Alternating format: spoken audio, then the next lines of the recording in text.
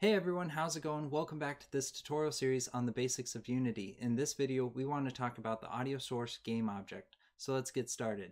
So here we have our tutorial project open inside of Unity, and the first thing that we want to do before we talk about the audio source game object is talk about the audio listener component. Now within Unity, every time you create a new camera game object, that camera game object will come with an audio listener component attached to it. So here within the hierarchy, if I select our main camera game object, you can see within the inspector down at the bottom that it has the audio listener component attached to it. Now the audio listener component will capture any sound effects playing within the environment of our game and then output that audio through the speakers of the device that it's being played on. Another cool thing about the audio listener component is that it will capture the sound effects based on its position within 3D space. So if the audio listener is capturing some sound that's really far away, it will sound like that sound effect is really far away.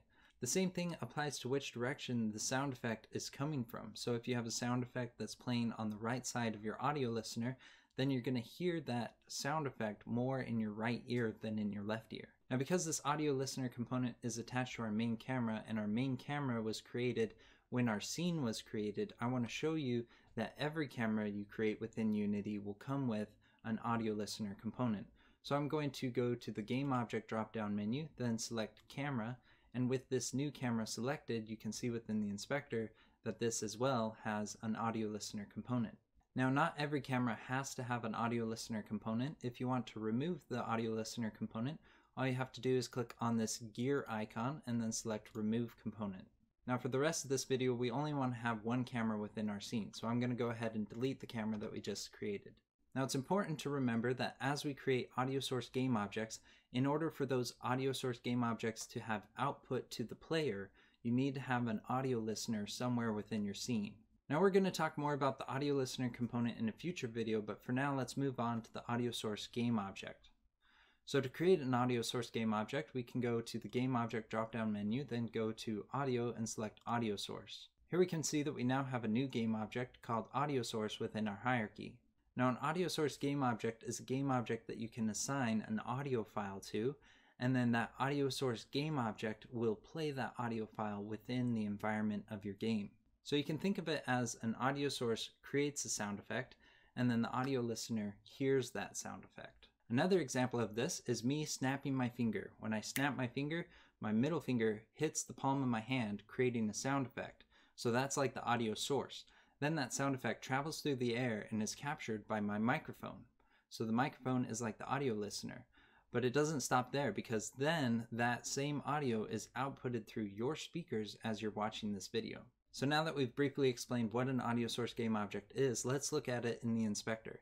So within the inspector, we can see that the only difference between this game object and an empty game object is this component here, which is called the audio source component. So if we wanted to recreate an audio source game object, all we'd have to do is go to our create drop-down menu, select create empty, and then go to add component and type in audio and select audio source right here. Now I'm going to rename both these game objects. The first one is going to be sound one and the second is going to be sound two. Now within the inspector, you can see that the audio source component has a lot of settings, and we're not going to cover all of these settings in this video, but we will cover them in a future video when we talk about the audio source as a component. Now the first setting that we do want to talk about is the audio clip field, which is located at the top. This is where we can assign an audio file and then our audio source game object will play that audio file within the environment of our game.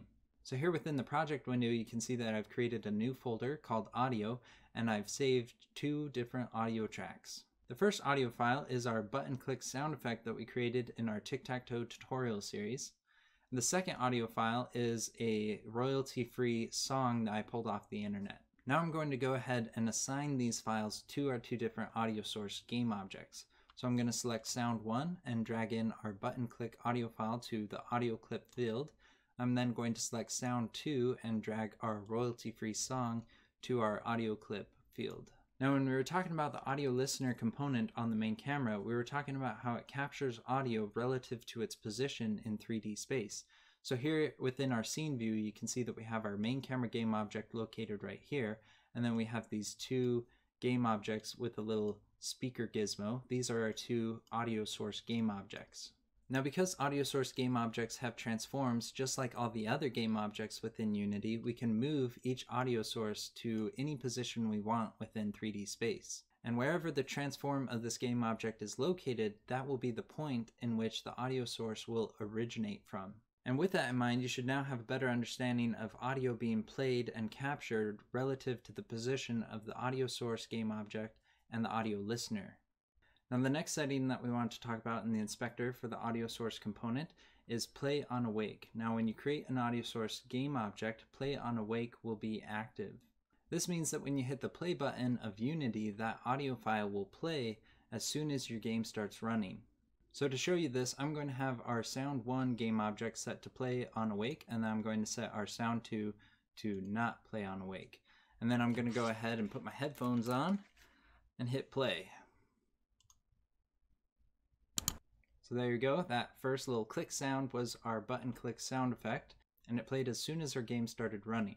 Now I'm going to switch so that our sound 2 will play on awake and our sound 1 will not. And there we go, we now have the sound or music playing on awake. Now a bunch of these settings are pretty straightforward, like muting the audio, looping the audio, and volume, but the next setting that we want to talk about is spatial blend. Now currently spatial blend is set to 2D, which means that all of my talk of sound being relative to its position does not apply. And so if we want to have sound relative to its position, then we want to change the slider to 100% 3D. Now I'm going to go ahead and hit play. And once the music starts playing in my headphones, I'm going to move the audio source game object farther away from our audio listener. And as I do so, you can hear how the volume of our audio source game object lowers. And it's only in my right ear because it's on the right side of our audio listener. And if I move it super far away, then it gets really, really quiet. You can't even hear it. Now I'm going to move it to the left side of our audio listener. And as I do so, you can now hear how it switches from the right side of my headphones to the left. Now if you're not listening to this video with headphones on, this might be hard for you to tell but it's pretty clear for me. Now if I move it closer, you can hear how the volume gets louder. So that's pretty cool. That is the audio source game object within 3D space. Now from Unity and the inspector, the only way to play audio from an audio source is to set it to play on awake. In the future when we talk about coding with the audio source component, we'll show you how to play an audio track on cue. Now that's everything that we're going to cover in this video on the audio source game object. I hope you're able to follow along and that everything made sense. If you have any questions, make sure that you leave them in the comments below. Also make sure that you like this video and subscribe to our channel so you can get notified when we publish new videos. Thanks for watching, we'll see you next time.